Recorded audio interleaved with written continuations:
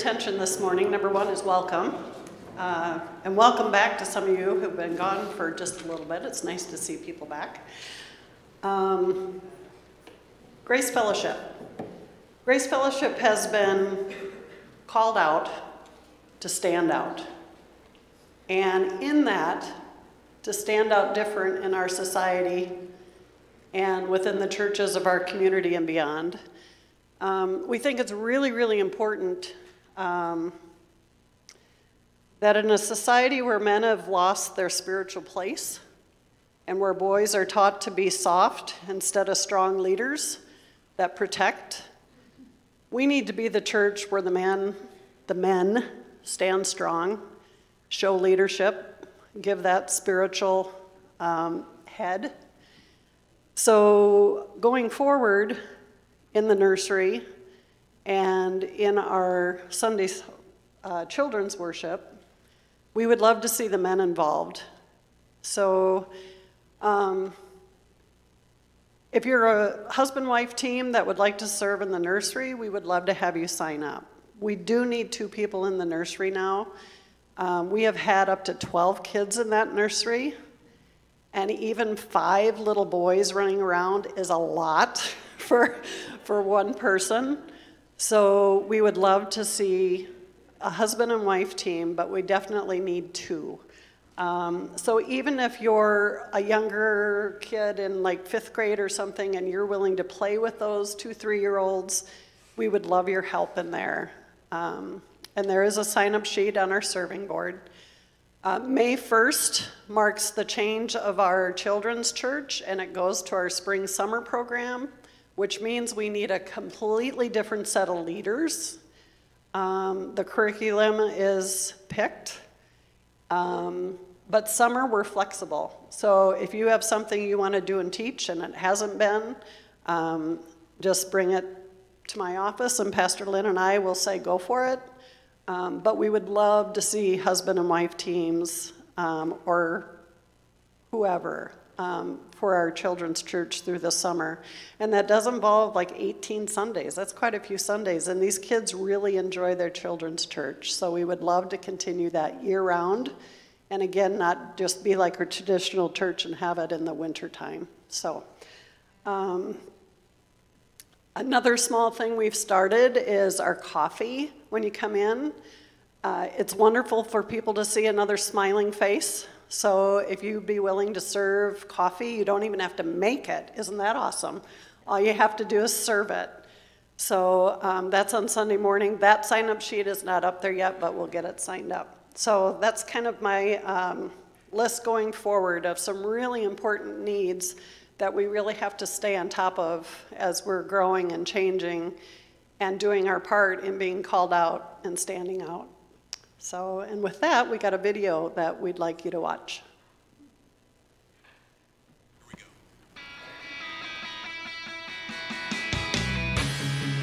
At our church, Jesus is Lord. That single belief calls us together as a community and sends us into our world with hope and purpose. At our church, your past will never define your future. There's always redemption, which means there's always a brighter day. At our church, we don't think we're better than any other church out there. We're just doing our best to become our best. At our church, we want you to believe in God, but we also want you to know that God believes in you. We are not against people who don't attend church anywhere. Instead, we pursue them with love, the very same love that's pursuing us. At our church, we're learning to serve God with all our hearts, and we're learning to worship Him with all our lives.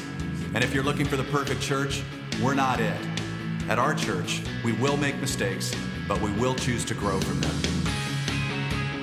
At our church, we're part of a global community that's knit together by the resurrection of Jesus. And by the way, at our church, we believe that really happened too. At our church, we will engage with people who are in real need because we are the hands and the feet of Christ. And finally, we need you to hear this loud and clear. At our church, it's not really our church at all. It's His. And we live and move and breathe in His church for His glory and His fame, not ours. So here's the invitation. You're invited to jump in with your whole heart at your own pace and to experience the life that awaits you in Christ. Friends, this is going to be good. Welcome to our church.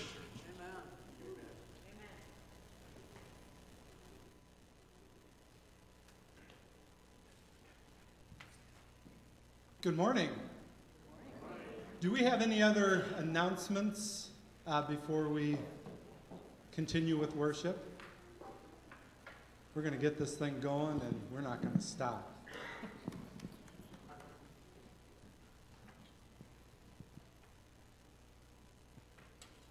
No other announcements this morning? All right. Well, God is good.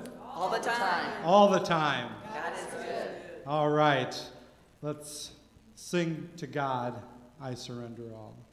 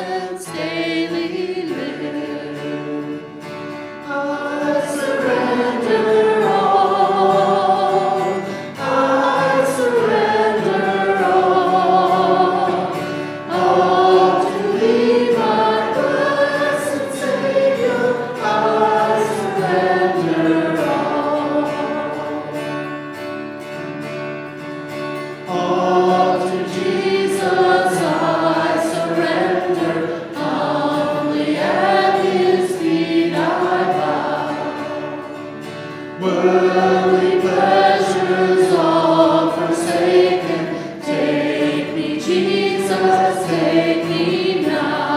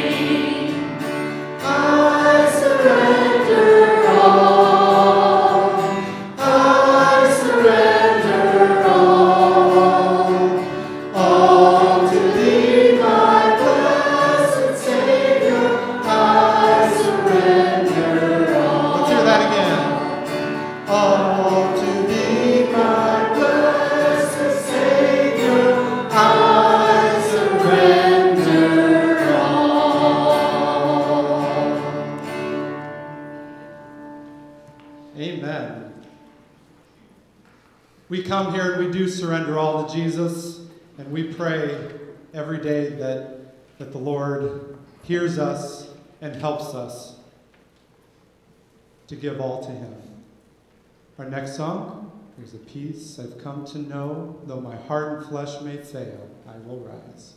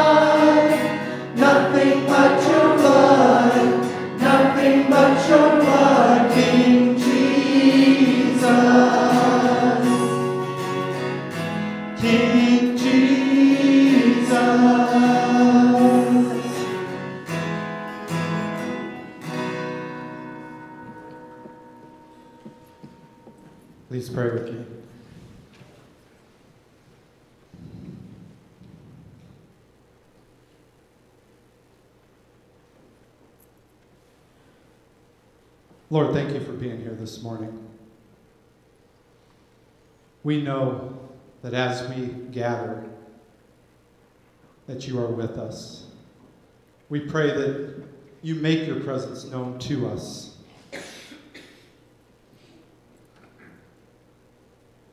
That you strengthen the Holy Spirit in this place. That as Pastor comes up to speak this morning, that your Spirit would be in his words.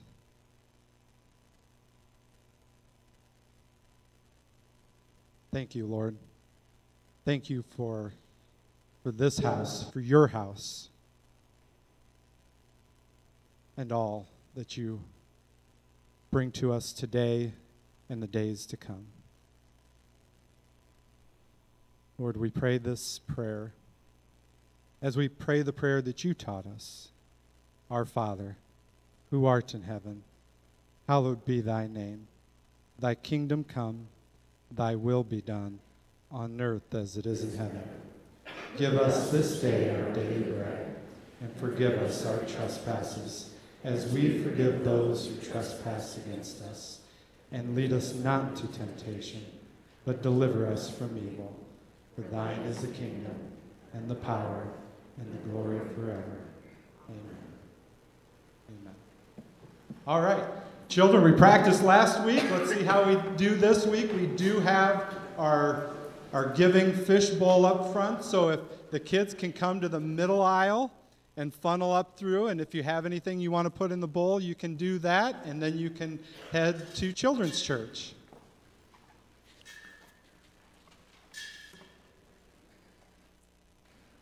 I'm going to make you stand up again. Let's stand up and greet the person next to you and say, More than enough. More than enough. Good morning.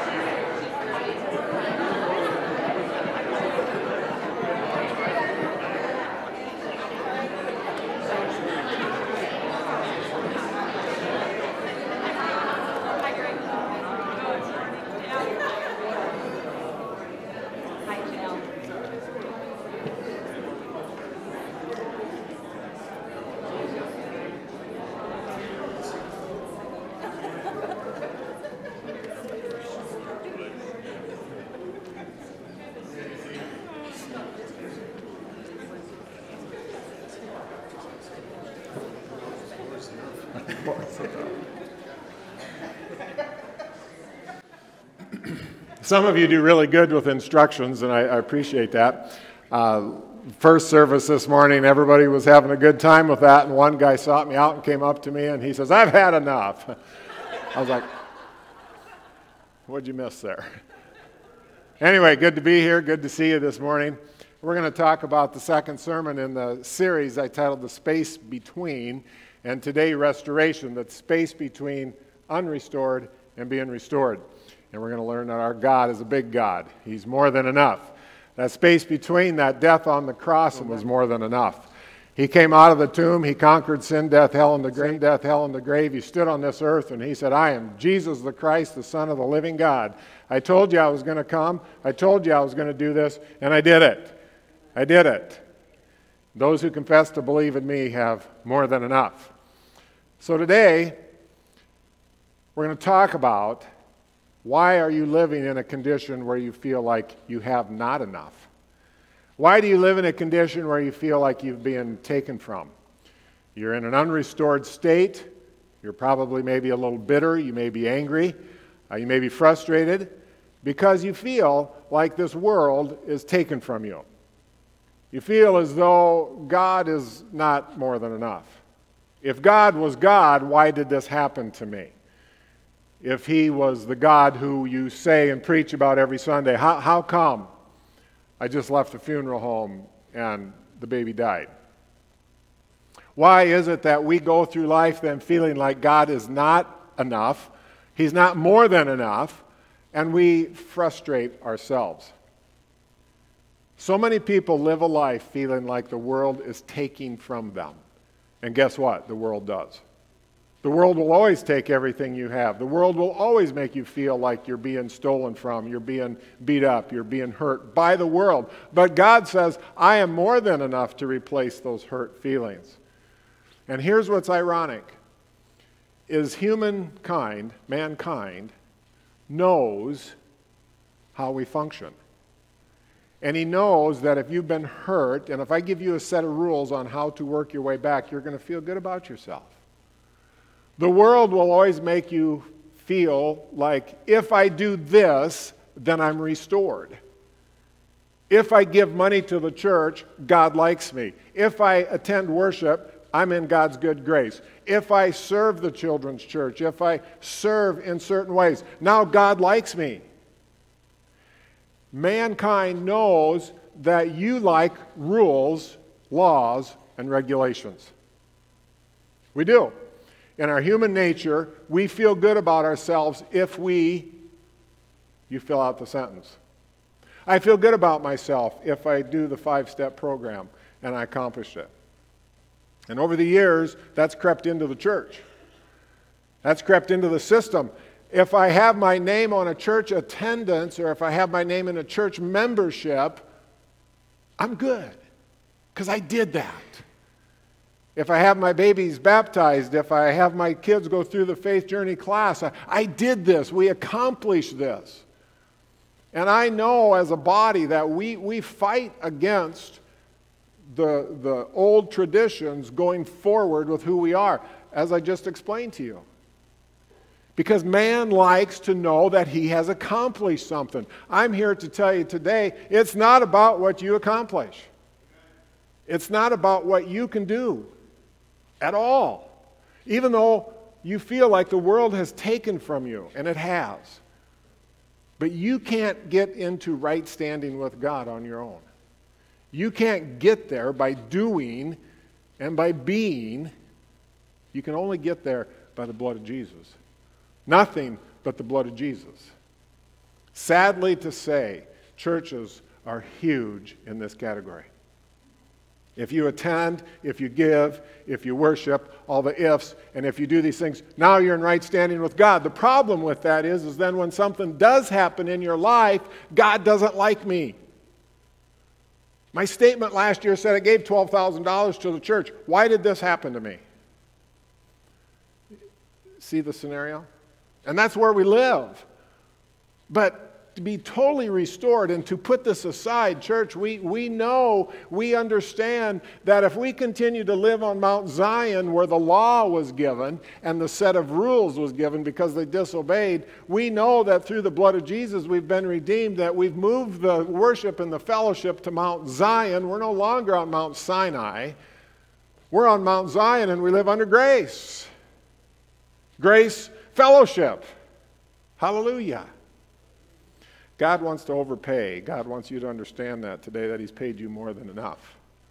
It's biblical. The, the Old Testament is a type and shadow of the things to come. Don't ever forget that. Don't ever forget that. Everything that happens in the Old Testament just simply moves to the New Testament. Now, the New Testament explains it. But the Old Testament points forward to the cross, and now we're pointing back to what we have. When I say that God wants to restore more than enough, Leviticus chapter 6, verse number 4 through 6, is the trespass offering. Adam and Eve trespassed in the garden, okay? Type and shadow of the things to come. Adam and Eve made a grievous error. They gave the dominion and the power over to the enemy. God comes on the scene in Genesis chapter 3, verse 15, and he says, Listen, we got a problem. You guys made, made a big mistake. Adam, who did this? Well, it was my wife. Blame game started right in the beginning when there was only two people on earth. Gals, don't ever feel bad that your wife that your husband blames you because it started with Adam and Eve. Okay? God says, Who did this? He said, She made me do it. Eve, who did this? She says, The devil made me do it. And the blame game happened. And God says, Okay, listen, I'm going to make it right. And I, I'm going to make it right through me and my boy. And he said, There's going to be a seed come from a woman that's going to crush the head of Satan, and he's going to be destroyed, and we're going to get this thing fixed. There's the first relationship between the Father and the Son. God says, Me and my boy are going to fix this. The seed. Who did the trespass? Adam and Eve. Who fixed it? God the Father, through his seed, through his boy. So the trespass happened, the offense happened, and I want you to get that trespass happened. And look at the trespass offering. If he has sinned and has realized his guilt and will restore what he took by robbery or what he got by oppression or the deposit that was committed to him or the lost thing that he found. Do you ever find something and you didn't return it? And everybody said. Or anything about which he has sworn falsely, he shall restore it in full and shall add a fifth to it. This is the trespass offering. So God's saying is whatever you steal, when, when you get right with the priest and you bring the, the proper sacrifice, you got to repay 20%. And give it to him to whom it belongs on the day he realizes his guilt. And he shall bring to the priest as his compensation to the Lord a ram without blemish out of the flock, or its equivalent, for a guilt offering. Now, who fulfilled our trespass offering? Jesus. Jesus was the ram without blemish. Here it is, type and shadow of things to come. Jesus was the ram without blemish out of the flock, and he fulfilled what was taken from us even though he didn't do it. Look at Psalm 69, verse 4. David's writing the psalm, but it's a prophetic verse. And in it, we see Jesus Christ. First, before we go there, 2 Corinthians 5.21. He who knew no sin became sin so that we might become the righteousness of God. Jesus didn't do anything to deserve what he got, but God made him that offering so that we could become the righteousness of God. This is the trespass offering that was innocent of what had happened, but he gave his life freely. Psalm 69, verse 4. David is speaking prophetically More in number than the hairs of my head, and those who hate me without cause. Mighty are those who would destroy me. This is prophetic. He's talking about Jesus. Mighty are those who would destroy me. Who wanted to kill Jesus? Just about everybody. Except for the few that he healed, and they didn't even show up, and the disciples didn't show up at his death. Mighty are those who would destroy me, those who attack me with lies. What I did not steal, must I now restore? That's in the Old Testament. David's pointing forward and he says, This is about Jesus. And he, he didn't steal it, yet he's going to restore it. John touches on this in chapter 15, verse 25. But the word that's written in their law must be fulfilled. They hated me without a cause. If you got a cross reference Bible, uh, in, in, the center of your Bible is your cross reference. Anybody know what I'm talking about? You got one of those?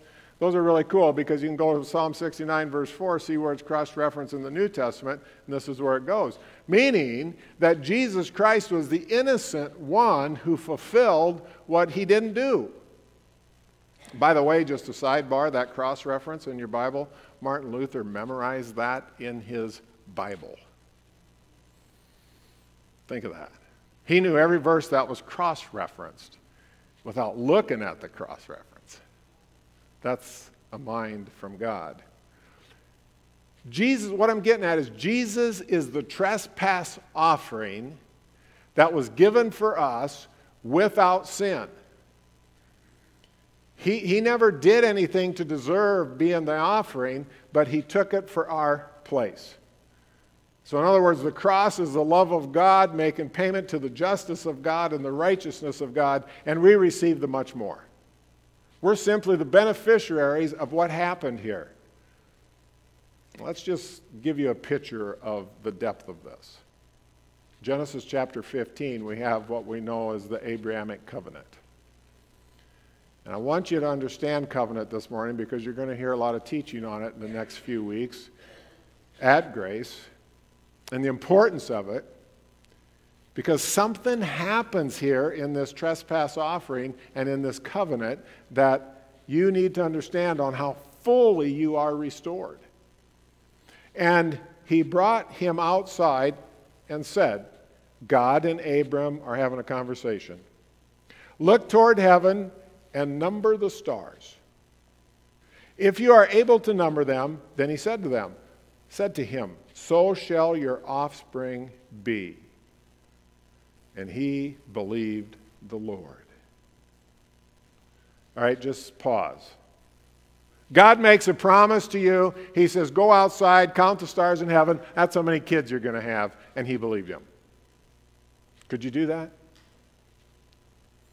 I mean, that's, and it's counted to him as righteousness later because of his faith. But wow, God, okay, I can't even count the stars. She doesn't even have a kid yet. They're getting old in age. And God says, This is how many kids you're going to have. And he believed the Lord, and he counted it to him as righteousness. That's faith. And he said to him, I am the Lord who brought you out from Ur of the Chaldeans to give you this land to possess. Everybody wants to be from Ur.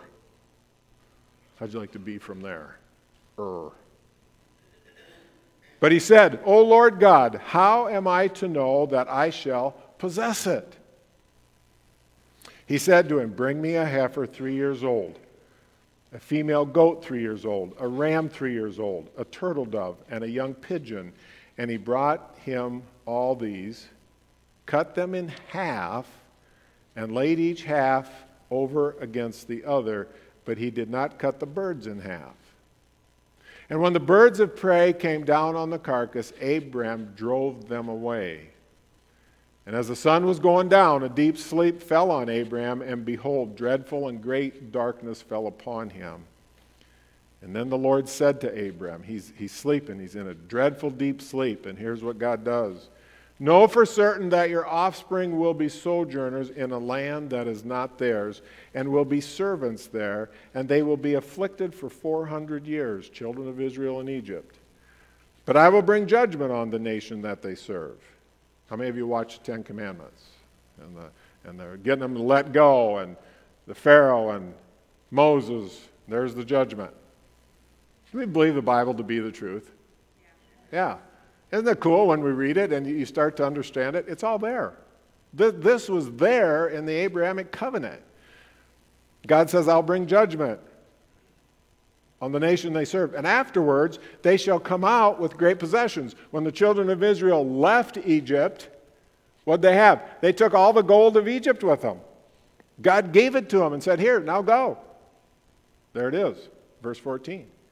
As for you, Abram, as for you, you shall go to your fathers in peace. And now he gives him a picture of his death. You shall go to your fathers in peace, and you shall be buried in a good old age. Hmm. Thank you, God. Now, now I know how I'm going to die. 16, and they shall come back here in the fourth generation, for the iniquity of the Amorites is not yet complete. Man, there's, there's, a, there's a sermon series right there. The Amorites are where the giants are coming from, and this is the evil influence that's been infiltrating God's economy, and he's trying to push them back and use people. And so this thing isn't yet complete, but I'm going to use the children of Israel. When the sun had gone down and it was dark, behold, a smoking fire pot and a flaming torch passed between the pieces. God's talking, animals are cut in half.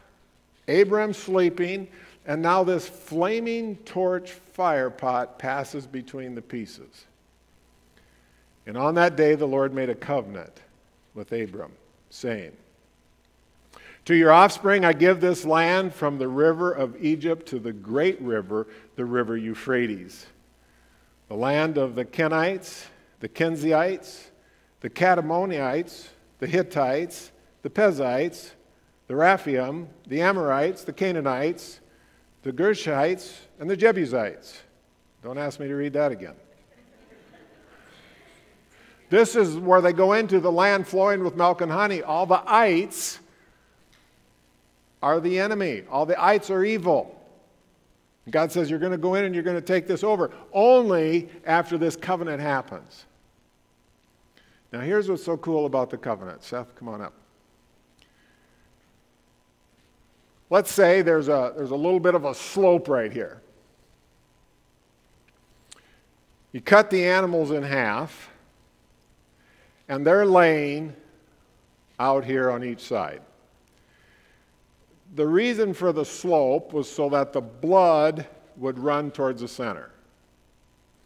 All the animals are cut in half. Turn the other way, back to me. So, in the beginning, when they cut the animals in half, they're both standing in the commingled blood. Both of them, you just walk in a circle that way, and I would go this way. They walk around the halves, signifying, go back to the center, just come right to the center. And then when I come back here, we are now facing each other. So we started out like this, we walk opposite circles, and now we're facing each other. Both of us are standing in the commingled blood. And this is how God made covenant with Abram. Thank you. They walked through the blood, they walked around it, and now they're facing each other.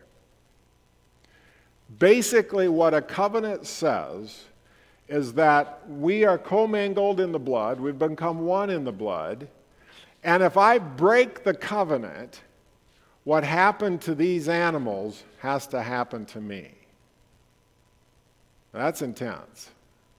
Both parties agree. If anything happens between us in this covenant, what we're agreeing to is that we will get cut in half. Let me be killed and destroyed because I broke the covenant. The other thing that is very, very cool in a covenant relationship is when you started here opposing each other and you walk around and now you're in total agreement and now you're facing each other, literally everything that I have is yours and everything that you have is mine, including debt and assets. God is saying to Abraham, everything that I have is yours. When we enter into the covenant with Jesus Christ, he's saying everything that Jesus has is yours.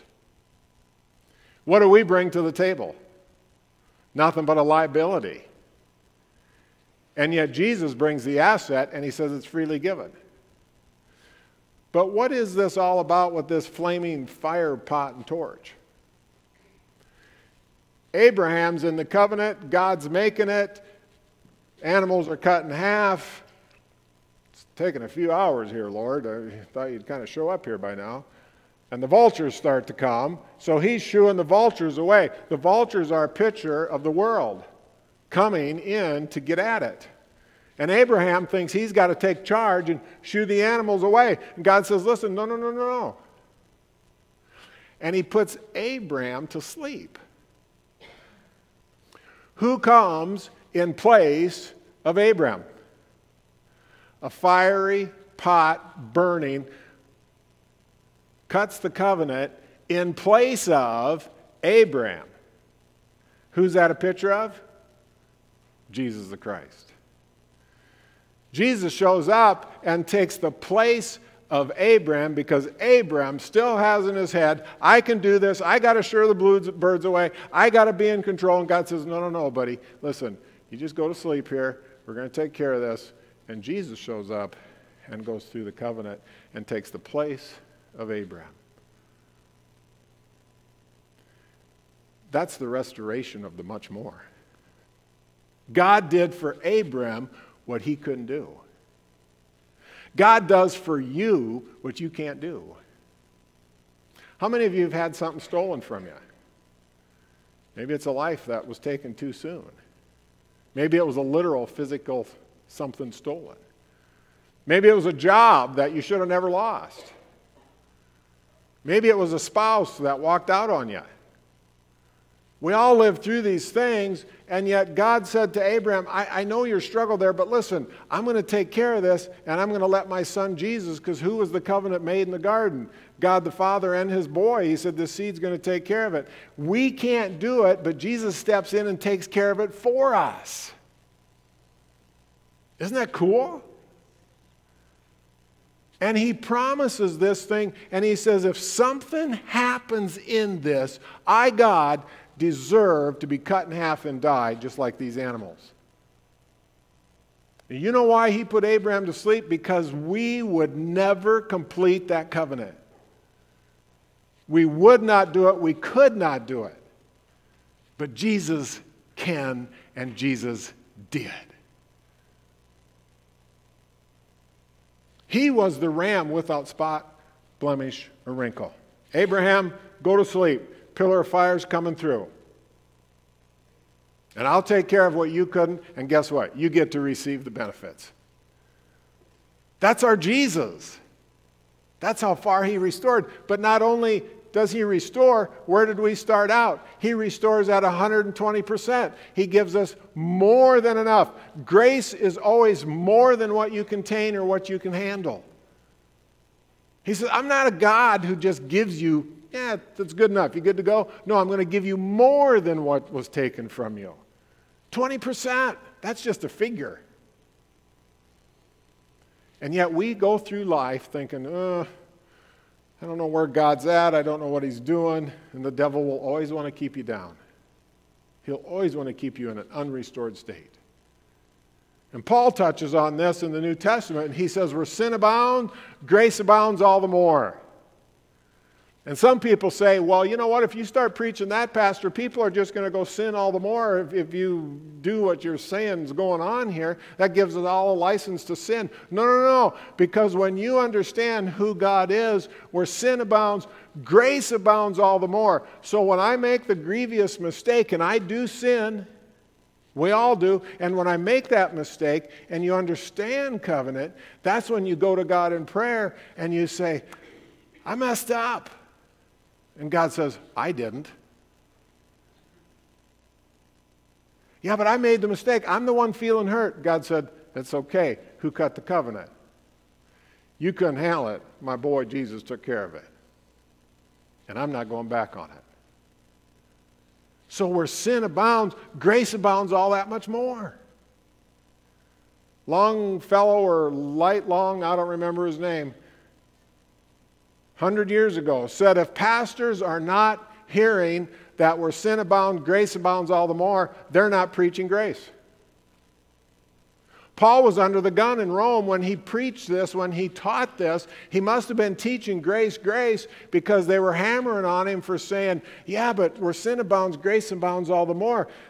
That's a beautiful picture that the more you realize how big God is, the less you will sin. Amen? I told you my cookie story two weeks ago. Fifth grade, Germantown, Iowa. We figured out you could make lethal guns out of Bic pens. They were cool little devices. You know, farm boys carry a plier to school. We could get one in the pocket. So you go downstairs, you take a, a, a coat hanger, and you take your plier and bite off a piece of the coat hanger, throw the rest in the garbage, and you just have a nice long piece about six inches long and then bend it so you got a handle. And You could take a Bic ink pen. I should have had one up here. And uh, pull the cartridge out. And remember the Bic ink pens had the little hole in the side? Some of you remember those?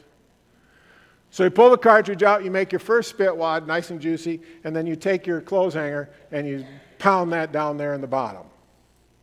Then you take your next bit wad and you just put it into the back end, and at the appropriate time, then you put your thumb over the hole and you got this little gun, and you take your bent clothes hammer, clothes hanger, and you push it through, and it just compresses the air. Got a little gun. You can shoot the girls. then you had to reload. It's all while you're in English class. Well, I got caught. A whole bunch of us got caught. So we had to take a piece of paper. I will not shoot spitwads. 100 times on a piece of paper. Did that make me stop shooting spitwads? Not at all. The more I wrote, I will not shoot spitwads, the more I've tried to figure out how to make it better. few months go by, same thing still going on. This time she was not happy. This time we go to the principal's office. And this time the principal takes my nice little Bic compressed air gun and breaks it in half. Throws it in the garbage and he says, Here's your punishment. You're going to eat three sheets of paper. I had to eat three sheets of paper in front of him. He says, If you like chewing on paper so well, eat this. You wouldn't get by with that today, probably.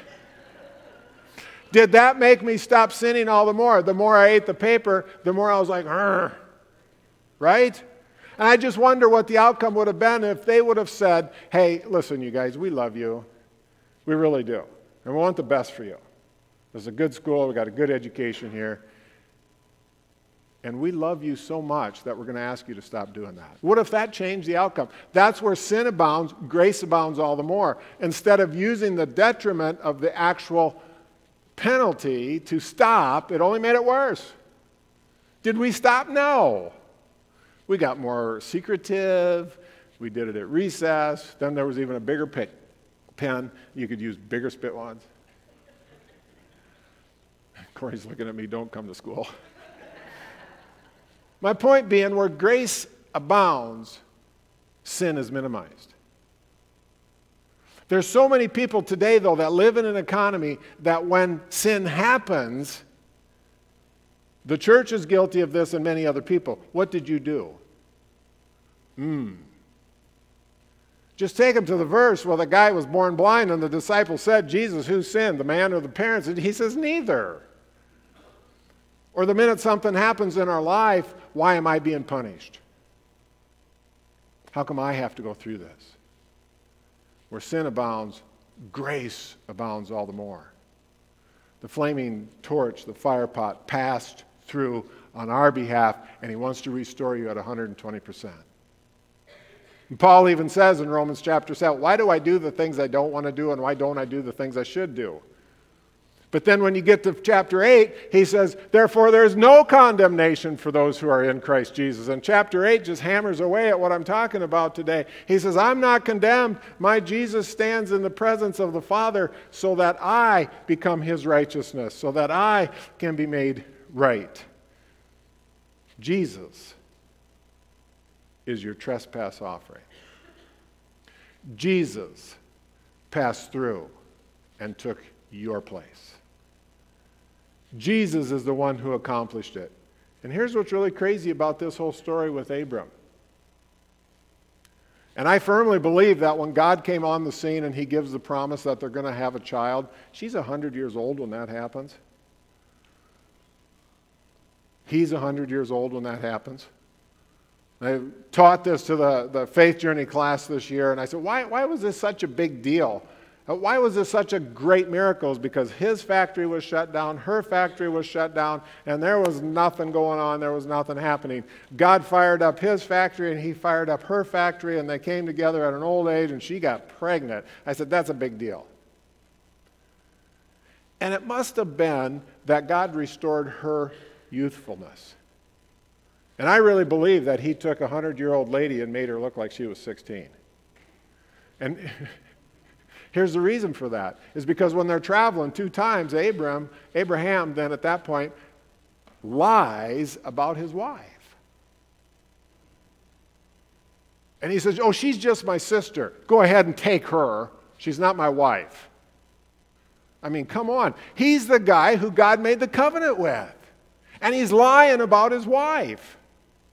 And here's what really gets crazy. The second time it happens with King Abimelech,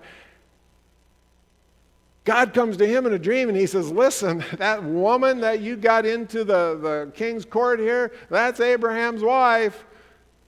And he's like, What? The dude lied to me. So God tells Abimelech what happened, and then he tells Abimelech that Abraham is a prophet. God builds him up. Why didn't God reprimand him? Where sin abound, grace abound all the more. He didn't even reprimand Abraham. Why? It's because of that covenant. Because he cut covenant with him.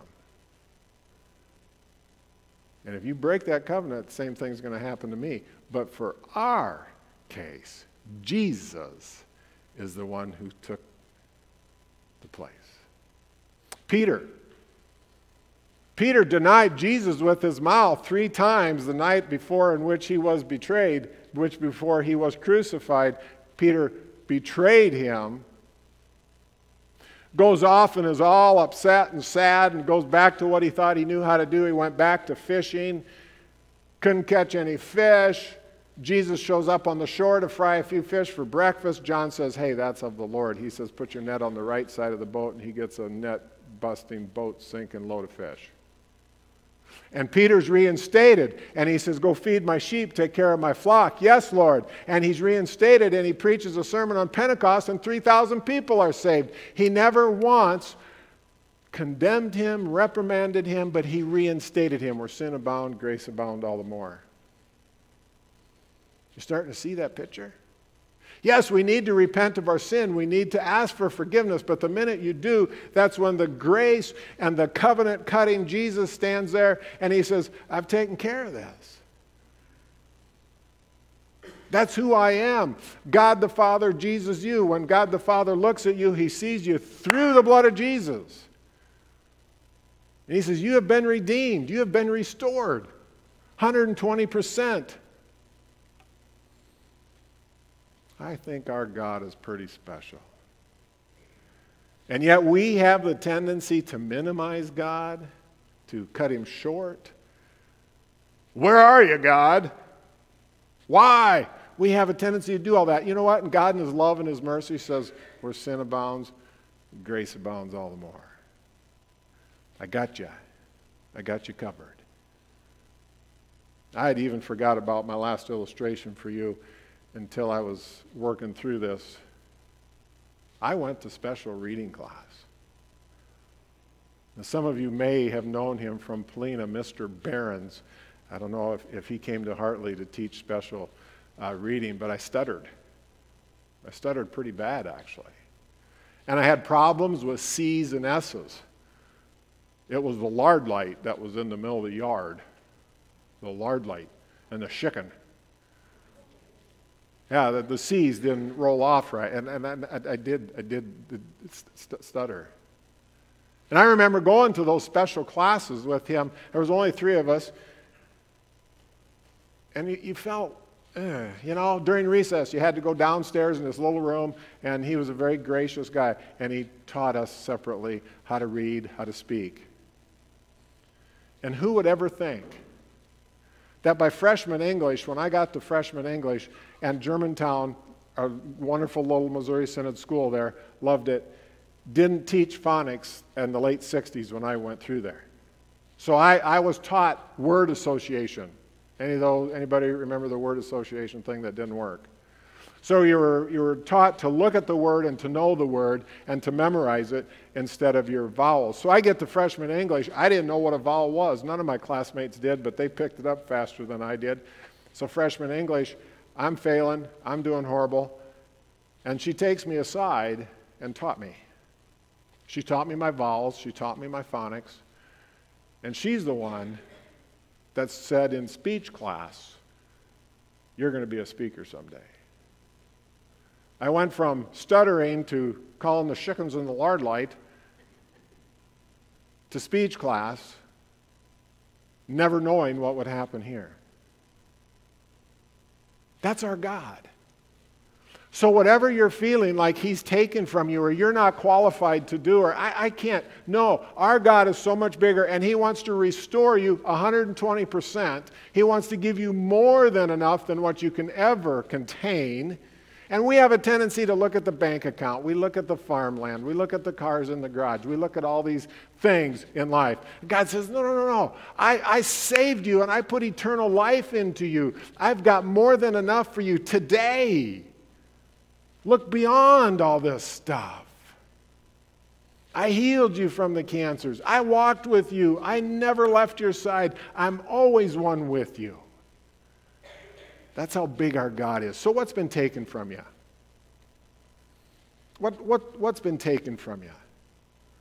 We all have it. We all have it in there. We all have something in our life. And I, would stand before you today understanding the covenant maker, understanding that Jesus was the flaming torch. He took it on our behalf, and He wants to restore you today 120% plus. That's who He is. Stop listening to the ways of the world. Stop listening to all the economic ways. But listen and embrace a loving God who says, I made covenant with you, and I will never leave you. I will never forsake you. I have restored you. I call you my own. You are my righteousness. And nevertheless, I'm yours. And I got your back. And I'm one with you because we did this thing. The restoration is complete. No matter where you've been, what you've done, what it looks like, the restoration is complete. Embrace that today. Embrace it. And know it. That's our God. Amen.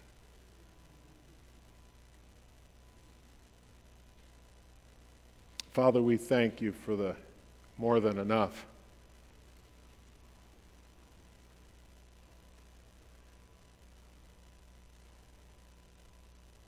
Father, we ask for forgiveness today that there are so many times when we depend on our own strength. And we depend on what we can do and how we can accomplish and how we can overcome.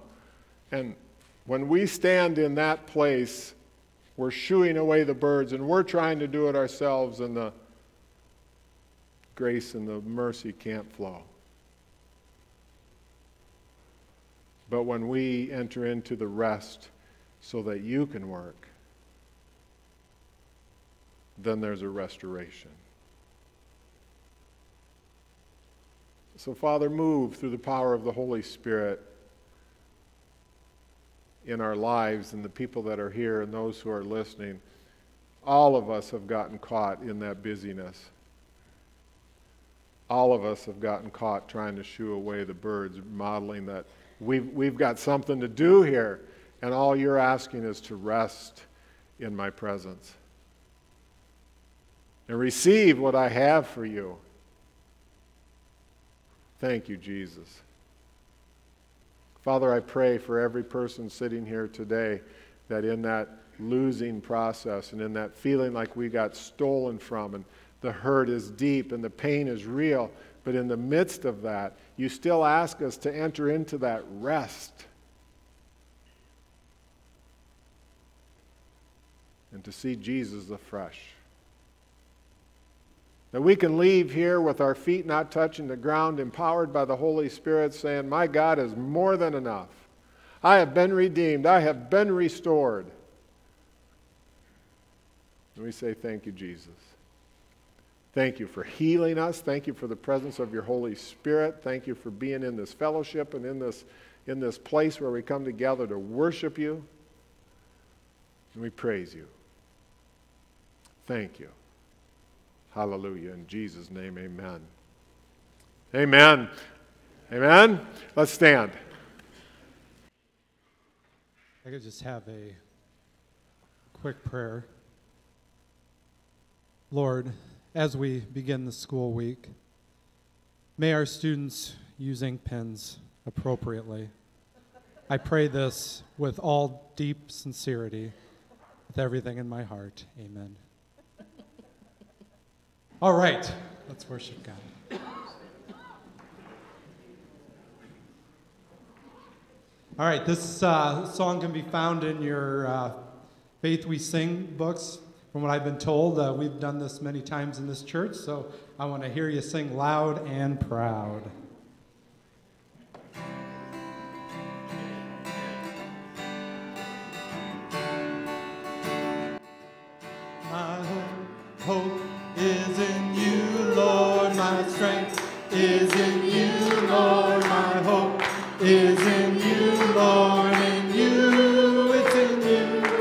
My life is in you, Lord. My strength is in you, Lord. My hope is in you, Lord. In you, within you. I will praise you with all of my life.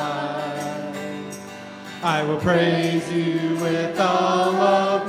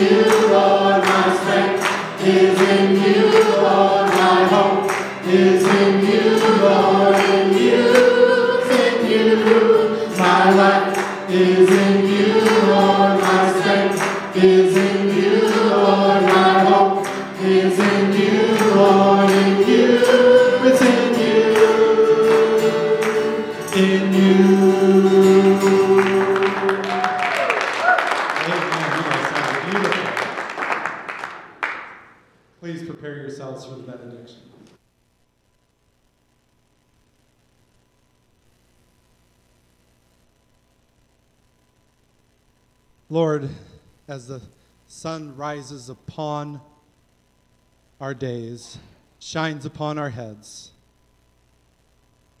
as the sun sets and provides our souls rest.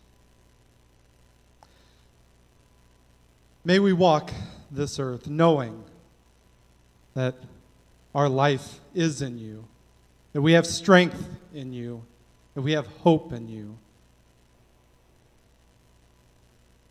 Lord, thank you for your sacrifice, knowing that as we leave here, we are free people, we are forgiven people.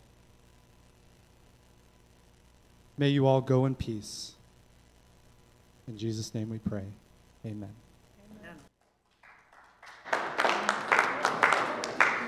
Amen.